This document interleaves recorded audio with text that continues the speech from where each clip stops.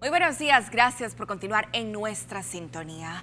Comenzamos las noticias internacionales en Estados Unidos, pues el Partido Republicano anunció que comenzará a desmantelar el seguro médico denominado Obamacare durante los primeros días del gobierno de Donald Trump. Desde su aprobación en 2010, sin consenso entre los partidos, la reforma sanitaria de Obama se convirtió en objetivo a derribar para los republicanos. Mediante subsidios ha extendido el acceso a un seguro médico privado a millones de estadounidenses con bajos recursos. Ha sido un fracaso, dicen desde las filas conservadoras. Se apoyan en el encarecimiento de los seguros médicos por encima del 25% en muchos estados y en la limitación de ofertas para contratar un seguro.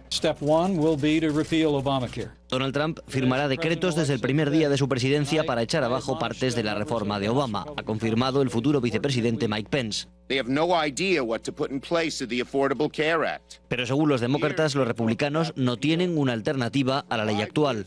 Los republicanos tampoco tienen una supermayoría de 60 senadores en el Senado, así que los demócratas confían en que muchos elementos básicos de la ley queden en pie.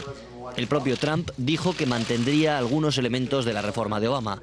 Hoy el todavía presidente ha estado en el Congreso pidiendo a los legisladores demócratas que no salgan al rescate de los republicanos si echan abajo la reforma. Será su culpa, les ha dicho, en un encuentro en el que trató de coordinar una respuesta para salvar la pieza más importante de su legado en política doméstica.